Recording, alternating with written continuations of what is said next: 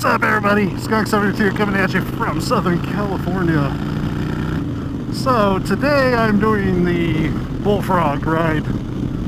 It's part of Frog Fest at Antelope Valley Harley Davidson, and it's a, a whole event to uh, help out fallen first responders.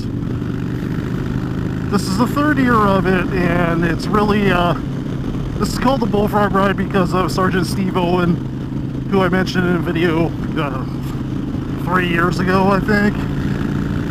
He was a sergeant for the Lancaster, California, Los Angeles County Sheriff's Department. And he was ambushed and murdered by somebody that uh, made a false 911 call to get police to come, and he just sat there waiting for him. And as soon as he showed up, uh, he shot Sergeant Owen, got him to the ground, and went over to him and put a couple more bullets in his head. So that's what this ride is all about. It's it's for Steve Owen and I had uh, some issues lately. Every time I've tried to vlog, I haven't been able to because something has gone wrong. The last one that I was able to do was my Mountain Rainier ride, which still wasn't perfect because my batteries died in the middle of it and I lost half of my vlogging.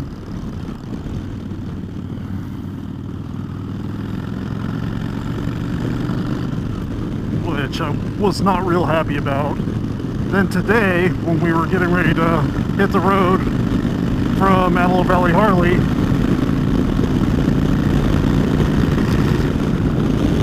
I uh, went to start recording and my GoPro 7 somehow got the uh, the one-touch recording turned off. I don't know how the hell that happened, but it did, so I wasn't able to record the first part of the ride, which is the best part. That's when like all the bikes are still together, they're leaving, you know, going to the first stop, we actually had intersections blocked for us, so there was no stopping for red lights or anything, and I, I just missed all, all the good stuff, unfortunately. But finally, at the second stop, I was able to get my cameras working. Um, I don't know how much I'm really going to vlog, because I'm just kind of enjoying the ride. Look at that, God. Two years ago, this lake was dry, and we were in the, the height of our, our drought, and maybe three years ago. Think three years ago it was totally dry. Two years ago we had decent rain, and then this year we had decent rain, so the lake is kind of back. So for this ride, I was able to get in on it. It was like $40, I think, was uh, the rider fee. And you get a cool uh, pin, which I'll, I'll try and take a picture of. And then you also get a t-shirt for being pre-registered, which I'll also try and get a picture of to show y'all. But, you know, this one's for a good cause.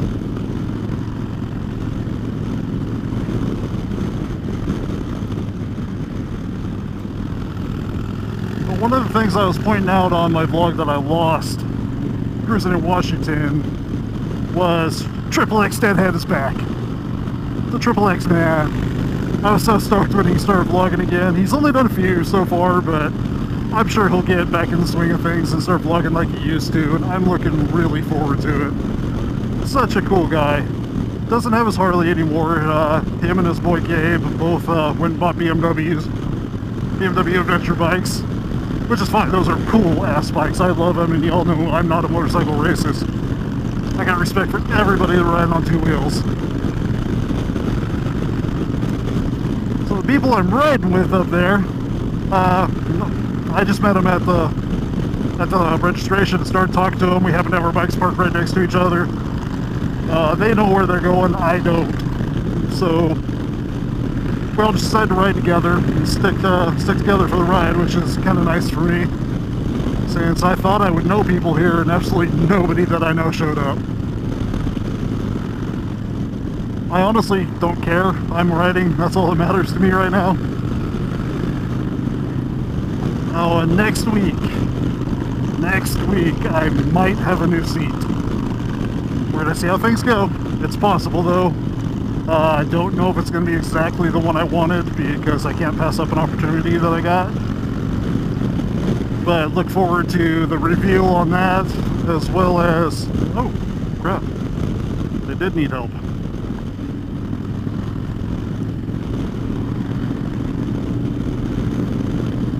Those, I think those were some people that were involved in our ride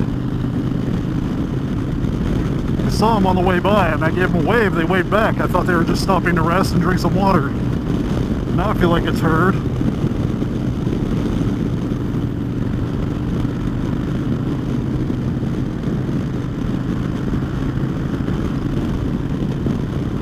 Oh, God, now I don't remember where I was.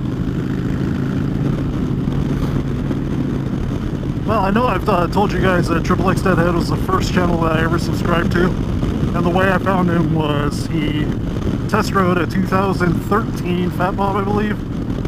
It was definitely Fat Bob. I think it was a 2013, and it was at the Progressive Motorcycle Show. And that's kind of how my uh, obsession with the YouTube motovlogs started was I was just looking for information on Fat Bobs. And came across his video and started watching his vlogs. Then from that I found Sean Smoke. And the two of them kind of inspired me to start vlogging once I was able to get a bike. And I waited until I had some experience behind the bars before I uh, got involved in the vlogging just because you know when you're new you got to have every bit of your attention on the riding. So I waited a while. I got myself a refurbished GoPro Hero 3 camera. Doesn't have super view not the best camera in the world, but it worked and it got me started. From there I upgraded to my Hero 4 Black, which, uh, God, I don't remember if it was refurbished or not. But I found a deal on Amazon. And then uh, when the GoPro Hero 7 came out, because I really wanted a camera with some image stabilization. Well, when the GoPro Hero 7 came out, I got the offer from GoPro to trade in any digital camera and get $100 off the Hero 7. Couldn't afford it, but I did it anyway. And honestly, I love this camera. I love the Hero 7. It has a few quirks that are gonna have to need they're gonna need to be worked out in firmware updates. But all in all, it's a great camera, and I love the Hyper Smooth. I'm wanting to get another one for uh, my handlebars. And that way, when I start my handlebar cam up again, I'll have an image stabilized camera then the footage will actually be able to be used because so far I've done a few with the two camera footage but the handlebar camera footage was completely useless and I probably should have never even put it in. It was so so bouncy and horrible it was almost impossible to watch. I did run a test where I put my Hero 7 on the handlebars and it, it was great. The, the Hyper Smooth worked out perfectly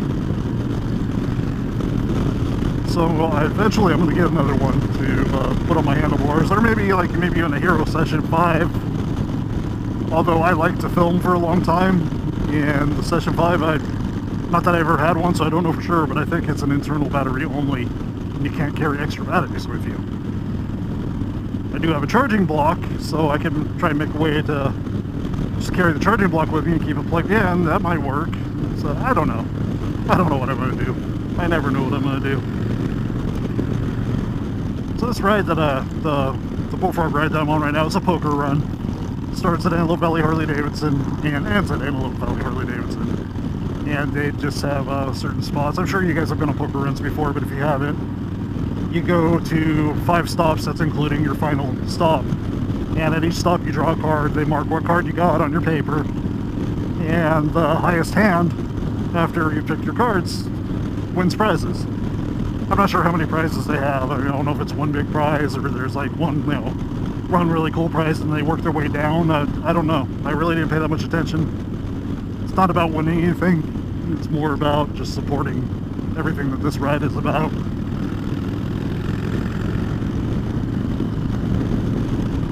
Yeah, being that I am a first responder, it kind of hits a little close to home for me. Even though I work in EMS and you know, we not by everybody, but some people kind of treat EMS like we're the redhead stepchildren of the bunch. We don't get quite as much respect as the other guys. But you know what? I don't need anybody's anybody's validation. For those of you that don't know Antelope Valley, California, where Antelope Valley Harley Davidson is, if you couldn't tell, is in the middle of the damn desert. So this whole ride is pretty much a whole desert ride. And these are the parts right here that I just hate. It's just a straightaway road. It's really not all that much fun. What's up, everybody? Uh, the whole uh, poker ride is over. I got a horrible hand. my like my only hope is to maybe get the worst hand, which I doubt because I had an ace and a king in there, so I probably can't even get the worst hand to win. But I just wanted to show you guys everybody that showed up here. Well, some of them anyway. A lot of them just did the right and left, but I wanted to do a little more here. But it's like 90 something degrees and I'm tired. It was a rough night at work last night, and so I'm pretty much doing this on no sleep, which I usually won't ride in this condition, but since this was already a planned thing and I already paid for it, I decided to come anyway.